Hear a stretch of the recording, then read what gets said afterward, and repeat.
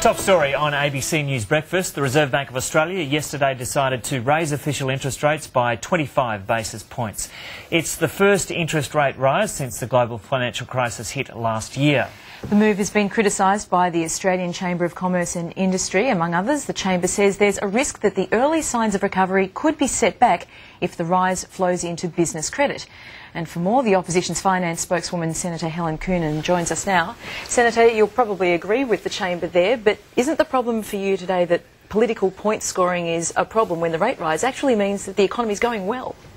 Well, not at all, because obviously the economy is going well. We know that the emergency has passed. That also means that the effectiveness of the stimulus package, this huge borrowed pumping in the economy that the government has gone on with now, is also passed. It's peaked. And now is the time to seriously consider winding back the stimulus or at least deferring it in the out years. You've said that the government is responsible uh, for this interest rate rise. Under a coalition government, would interest rates be permanently at 3%?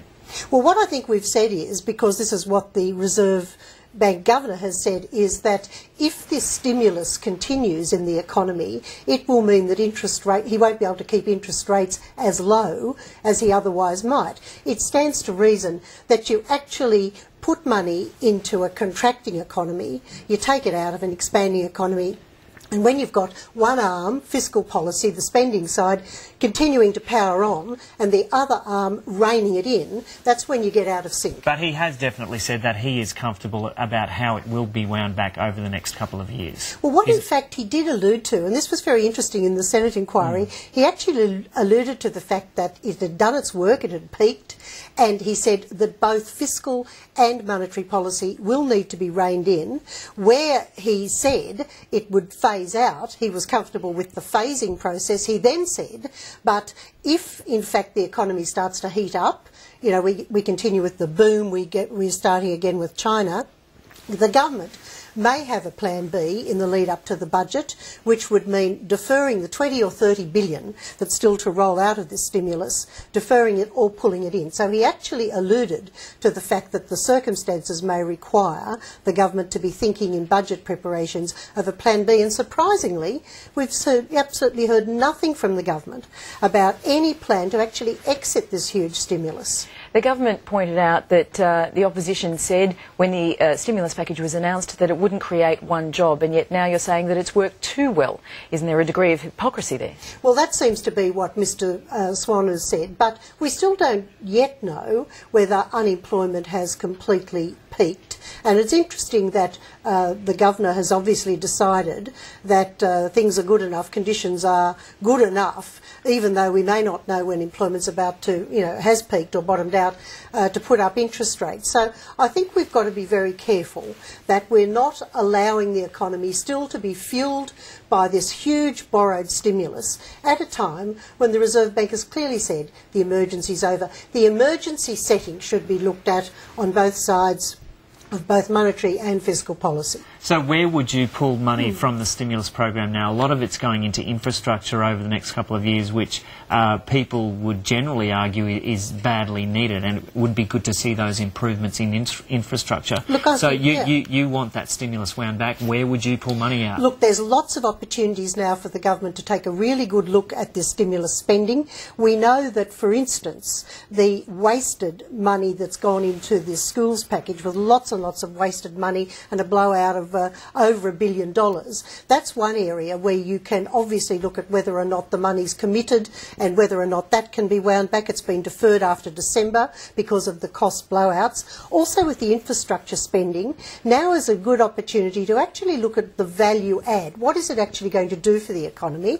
You can obviously defer the spend and because Infrastructure Australia ticked a whole lot of projects, we don't know what ultimate productivity benefits they're going to have for the economy, it's a very good opportunity for the government to take a very good look at whether this final part of the stimulus package is really necessary, whether it's going to get the productivity benefits claimed for it. So, so you believe some of that infrastructure program may have been rushed in a similar fashion to the schools program and there may be a wastage there? Well, clearly you need to get value for money. There needs to be you know, greater benefit than cost. And we know in the circumstances of Infrastructure Australia Australia, having approved the, these projects that were announced in the budget, uh, that there are some that we simply don't know much about them, why they were ticked.